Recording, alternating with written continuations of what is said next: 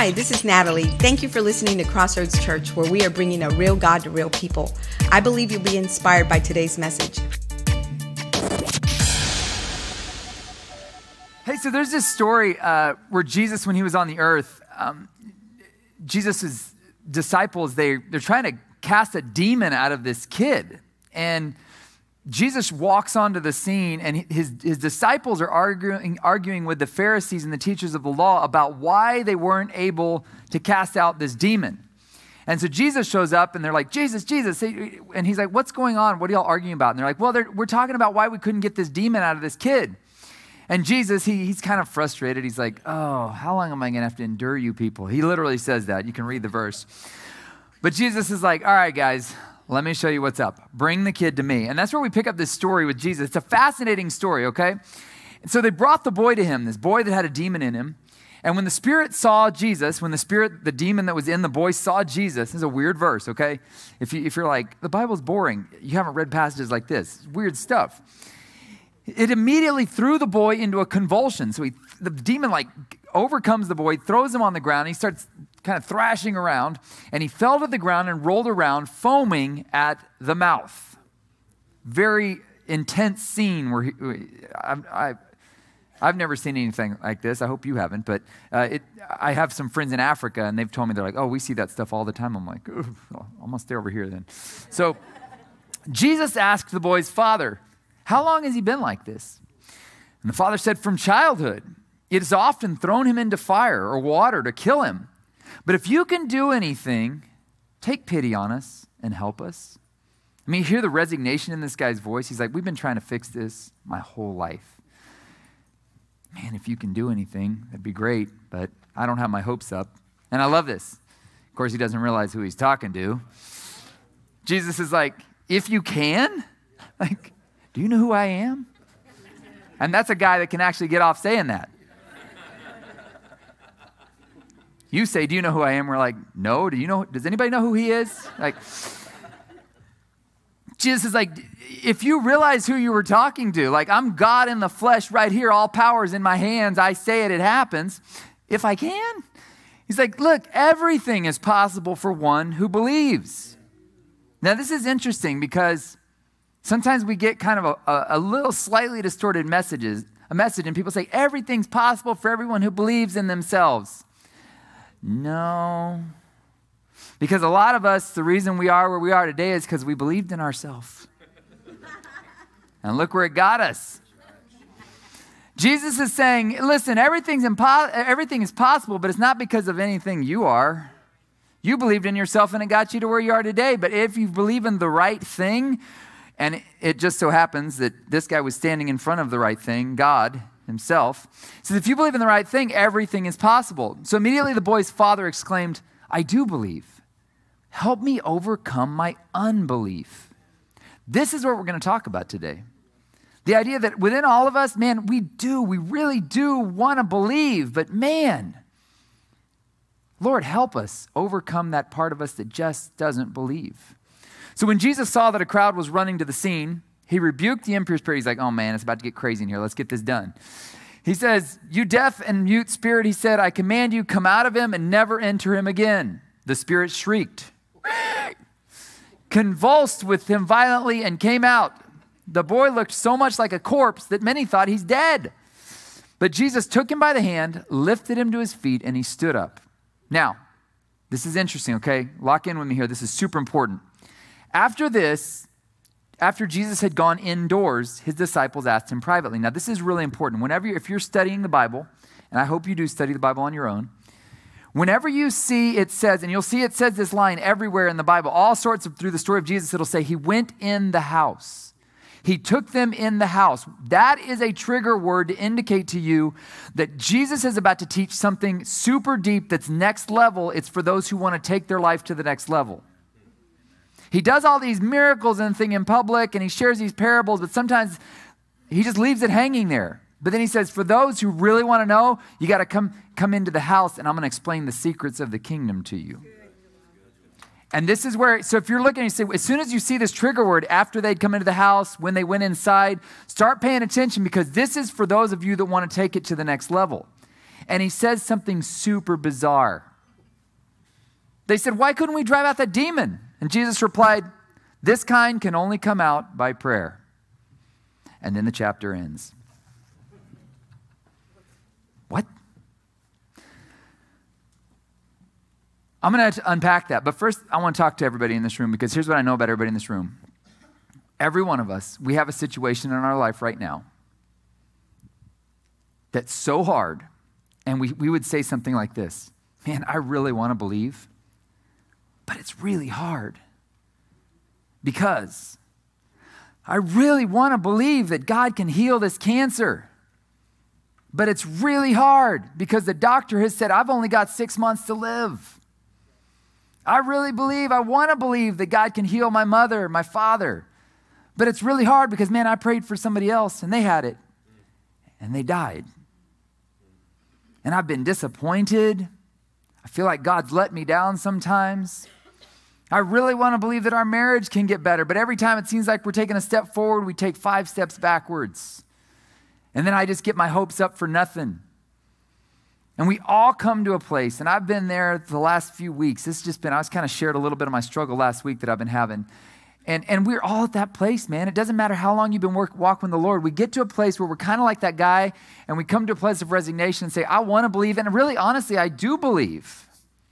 But Lord, help my unbelief. Because there's a part of me that says, realistically, that's just not going to happen.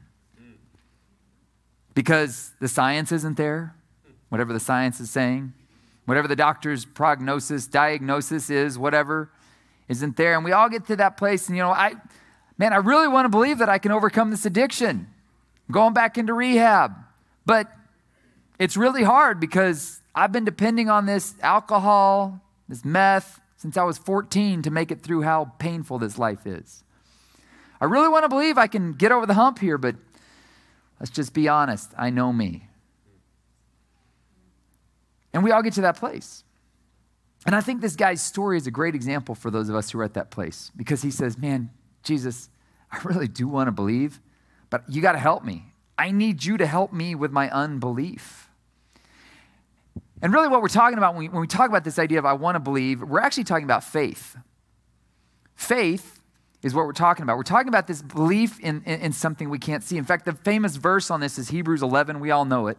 It says this Now, faith is the assurance of things hoped for and the conviction of things not seen. Now, conviction, you know what conviction is? Conviction means like, you know, there's like a conviction in, in the court of law where it pronounces judgment and says, you are you did this, right? There's this, it's like an assurance that this is what the way it is. And the weird thing about our faith is that we the reason we're here this morning, many of us, is because we have a conviction that there's something out there beyond what we can see or touch or taste or feel sometimes. We believe there's a God that we can't see. And here's the thing like, what we believe, honestly, is kind of weird if you think about it. I know as a pastor, I shouldn't be telling you how weird it is what we, what we believe. But let's just like, let's just get really honest here, rational, okay? We believe in a God that nobody has ever seen. Nobody. In fact, the Bible even says that God said, You can't see me or you'll die. That's really convenient. if you're wanting to get somebody to believe in something, you say, Well, you, if you see it, you'll die. You just have to believe it on faith. Oh, okay. We believe that this, this, that this God we don't see has three parts to him, right? The Father, the Son, and the Holy Spirit.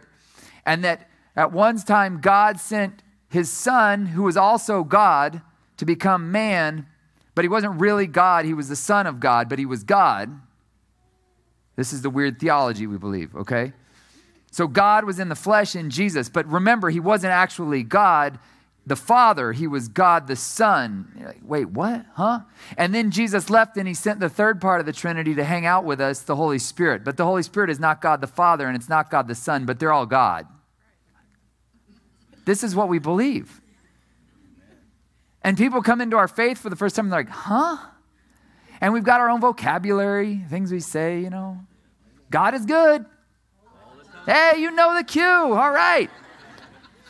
But people come in and they don't know what that means. And they're like, this is a weird thing we believe. But yet, you know somewhere deep inside of you, and they haven't been able to talk you out of it because you've got conviction. You've seen God do things. You said, I was in a heap of trouble, and some powerful force delivered me from that. So you've got that conviction because you know, a person with experience is never at the mercy of a person with a theory. And you've experienced God, and that's where your conviction comes from. So people come to you and they're like, well, that's a ridiculous thing you believe is God in the flesh, Trinity, holy. And then, and then you believe that God himself came and had to die for sins. Like, how could one man dying over here, like, who wasn't, was like half God, half man, or whatever you say he was, like some superhero, how did he rescue you? And you're like, what? And you go, I don't understand all of it, but I know that I've been changed by the power of it. And that's the conviction we have. And so this is what this is what Paul says about this. He says, You've got the conviction, right? And he says, and it's by that conviction, by that faith, that the people of old received their commendation. Basically, they got the reward of living by faith. And then he starts this list of like 600 words of people who had faith. Talk about Abraham. We just did a series on Abraham. And God said to Abraham, Abraham, I need you to leave your country and your family and go to a place that I will show you. It's on a need to know basis. I'll show you when you're there. Just start walking. You go, that was faith. We look at the story of, he talks about the story of Enoch in this Hebrews 11. And Enoch was a guy that he actually had somehow, some, he had pleased God in such a way that God never, he never had to die. Enoch actually just got taken up to heaven. It's a weird story. Another weird story in there, right? He talks about Noah. Talk about faith. Noah, I mean, that looks a little loopy. Like, dude, Noah, what you building that boat for, bro? It's going to rain, like major rain. I'm talking 5,000 year flood here. Like, this is, but we're not even the floodplain. This is the 5,000 year floodplain. Trust me here. He's building this boat, but yet God commended him for his faith. And here's what I think he's saying here. He's like, listen, if you want faith for what's ahead, the best thing to do is always look backwards. Because God has been slowly but surely building a track record in your life of His ability to provide, to care for, to give you the wisdom, to give you the confidence. He's been building His track record. I don't ever believe God asks you to take a giant leap of faith. It may feel like it, but if you'll look back, you'll see, oh, He's been preparing me for this. You feel like you're maybe supposed to step out into a new career or a new field or trying something new, and you go, trust me, if God, if God is calling you to do that, He's been slowly preparing you. He's been building His track record in your life, but you've got to be willing to look backwards, look at those stories of people who walked in the faith, and not only that, look at your personal story, because here's the thing He's already been working in your life, and He was even working in your life before you even acknowledged Him. And you know that. And one of the keys is this look for patterns. Now, listen, if you really want to be a next level thinker, they say that intuition is based on the ability to see patterns. If you want to be really smart and really sharp, the ability to see patterns is what will save you so much trouble in life. Okay? For example, a, here's, a, here's a negative example. Have people come up to me, a girl will come up to me and say, Hey, I don't know, is this guy the right guy for me? Should I marry him? And I'm like, Well, he's leaving his wife to marry you. that will lead to a pattern. And if he was willing to leave her to hang out with you, he's going to leave you to hang out with her. Pattern. And the thing is, we know this kind of in intuitively we're like, well, you know, but I'm unique. And you're like, well, no, patterns don't really care about your uniqueness. Principles don't care about your uniqueness. I am such an attractive person that if I jump out of a plane, I will fly. No, no, it doesn't work that way. Principles are patterns, and they're laws and rules that have been put in place that if you break them, they'll break you. And so the challenge we have is we have to look for patterns, but here's the thing God has a lot of positive patterns. We've seen his faithfulness in the past. Now, a lot of times it's led to some disappointment, but we've, we've all seen in the past his faithfulness to take us where, he, where we are today. And one of the keys is you've got to be willing, when God calls you to look forward, to say, okay, God, I'm going to trust you, but I'm going to trust you based on my past experience with you. Because that's the key right there. He's been building a track record in your life. And whatever he's asking you to do now, what he did in the past is indicative of what he will do in the future. So you've got to look for those patterns. That's what we talked a few weeks ago. I did that series on, on the circle perspective about how God works in our life less in a straight line, He works more in circles. And you find yourself coming back around to the same themes, same concepts, kind of same challenges sometimes, but they look a little different. And God is always working in your life, but most of the time you can't see it when you're in the middle of the struggle.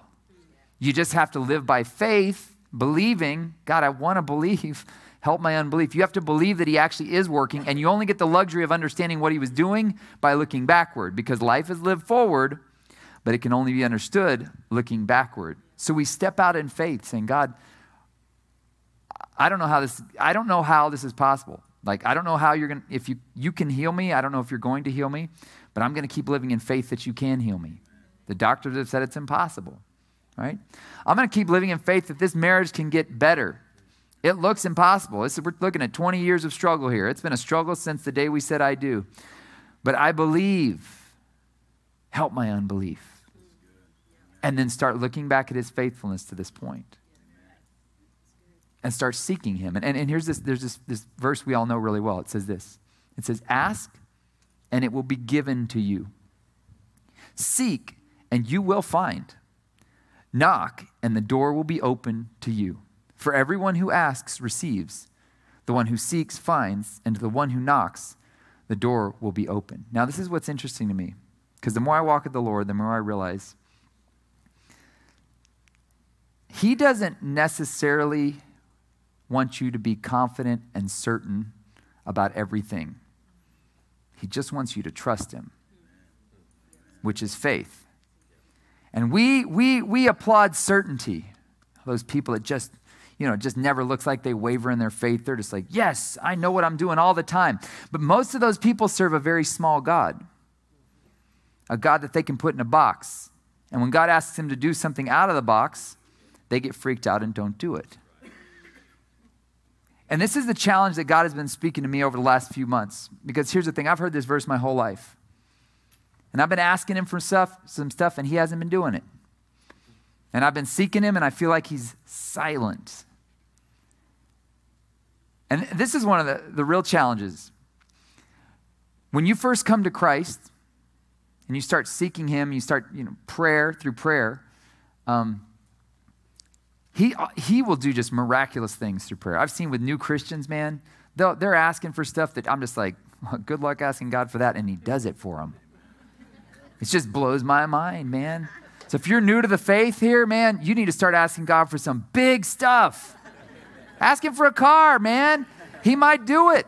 He might just do it because there's this thing like he wants to build that track record in your life. But here's the thing the longer you walk with God, here's what ends up happening he gets more and more quiet. And he's just doesn't work like a slot machine anymore. And you get frustrated and I've been hanging out in the church for about 43 years now, walking with the Lord, you know, 38 something years like that.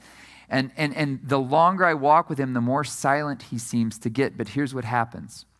Here's what I'm convinced of.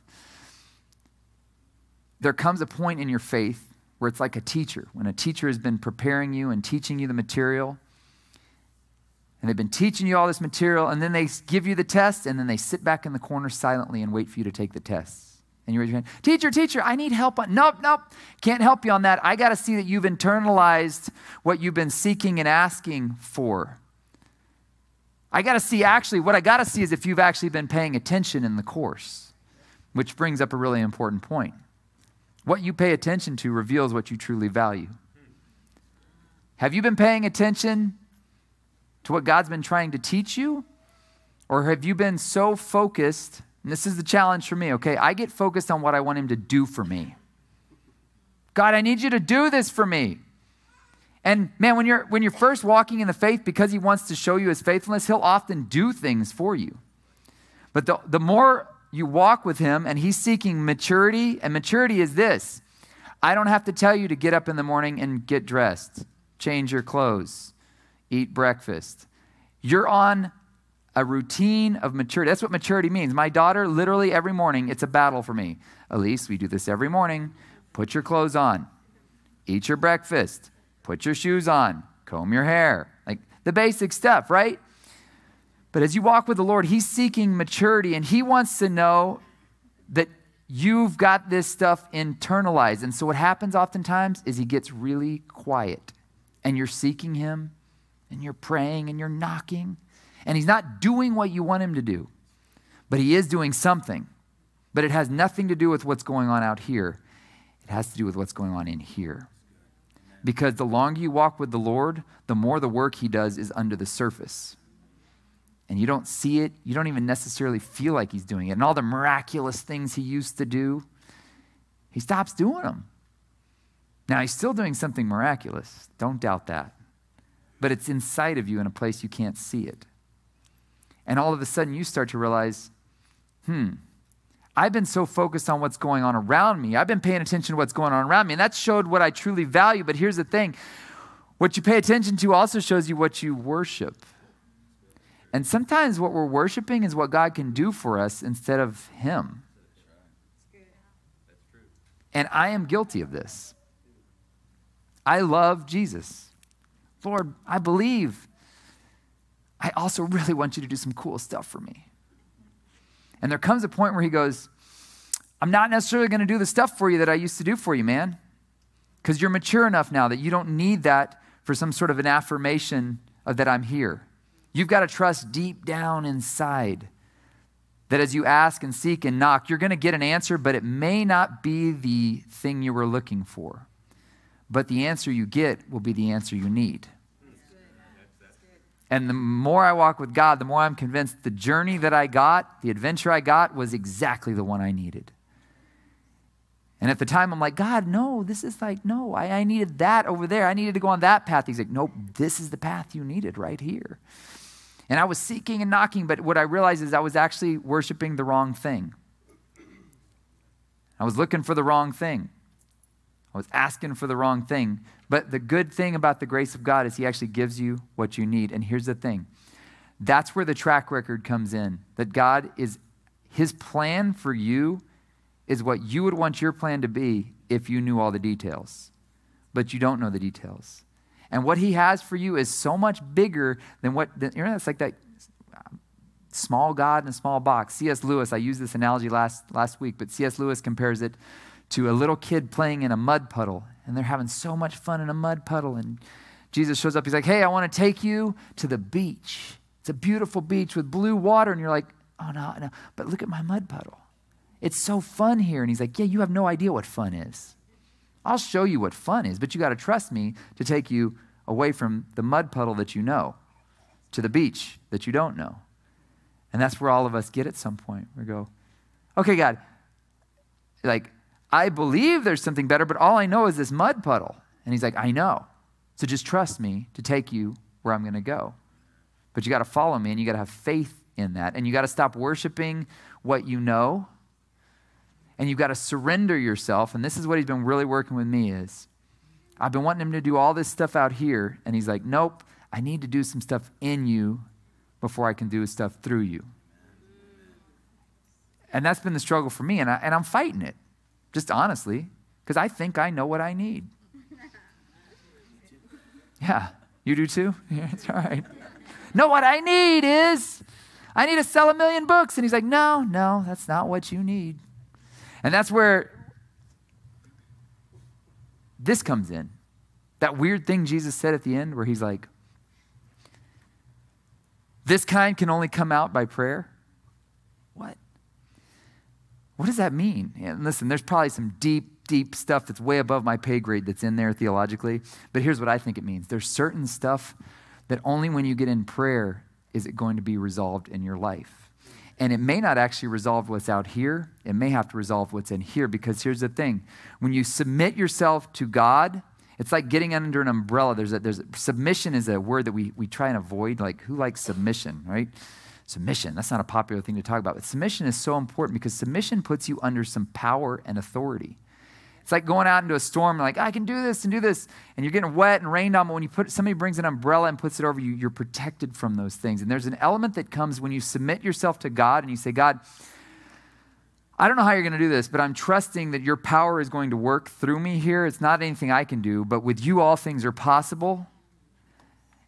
And there's certain things that only prayer can resolve. And because when, when, when you're in prayer, I think I, I'm having a shift in my mindset about what prayer is. Now, you'd think I would have figured this out earlier, but I'm slow.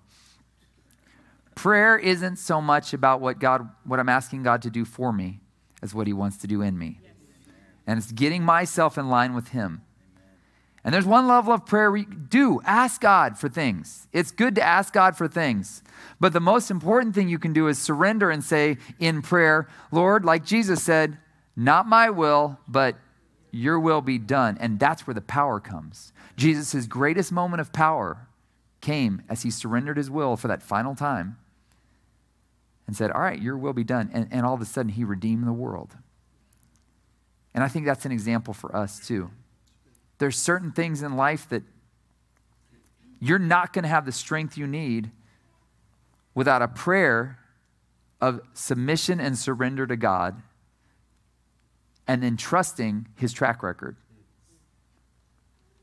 Trusting his plan for you is what, he, what you would want your plan to be if you knew all the details. But you've got to recognize that the faith you need to move forward is going to come through you spending time in prayer and saying, God, not my will, but your will be done. I'm trusting you. I'm trusting your way. And I'm going to stop trying to figure it out on my own. And I'm going to give it to you. Because here's the thing I want to believe. I really do want to believe. But as I look at the situation around me, I don't see any way you can do it. So help my unbelief. And that's where prayer comes in and saying, I'm surrendered. I'm surrendered to whatever you want to do. And that's where the power comes from.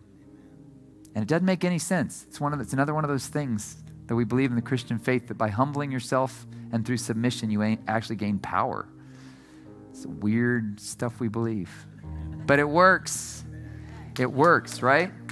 So here's my encouragement to you guys. Listen, whatever you're going through right now, you're saying, man, I really want to believe. I really want to believe that God can heal me, that this marriage can get back on track, that you can restore that relationship with my son or my daughter. But the stats don't look in my favor. But here's what does look in my favor I'm looking back at your faithfulness.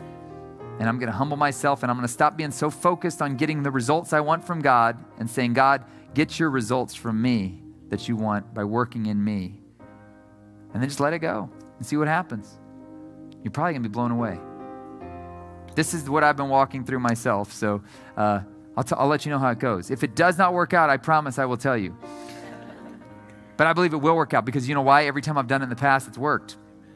Every time I've surrendered to Him and stopped trying to figure it out and just humbled myself, He does what, he's, what only He can do because with Him, all things are possible because He's the one that has all the power. So let me pray for you. God, we thank you so much that you are working in us. I pray for those this morning that are saying that, man, I, I really believe, but help our unbelief, that part of us that's saying, I just don't see any way. Lord, I pray that as we pray to you, you would help us recognize that regardless of what you do on the externals, through prayer, we're connecting with the internals of what you want to work within us. It's that you're that silent teacher sitting there saying, I want you to internalize what you've been paying attention to. What have you been paying attention to? Is it the right thing? And if our attention has been on the wrong thing, Lord, if our attention has been on what God can do for us rather than who we can be through Him, Lord, I pray that you would redirect our attention this morning and help us recognize that you are ultimately what we need to ask for seek, and knock on that door to get. When we've got you and nothing else, we've got everything. So I pray for anyone this morning, Lord. I pray for those that are struggling with, with sickness, illness, and diagnoses for health, and marriages that are on the rocks, and financial situations that are on the rocks, jobs that are on the rocks. Lord, I thank you, Lord. The most important thing is what's happening inside of us through it. And we know that you will complete that work. You who began a good work will be faithful to complete it.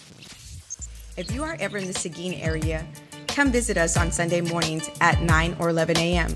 Or you can just download our app and receive our weekly messages right to your phone. Just text CC Seguin to 77977 and click on the link that you receive. May the remainder of your week be enriched with God's favor and blessings.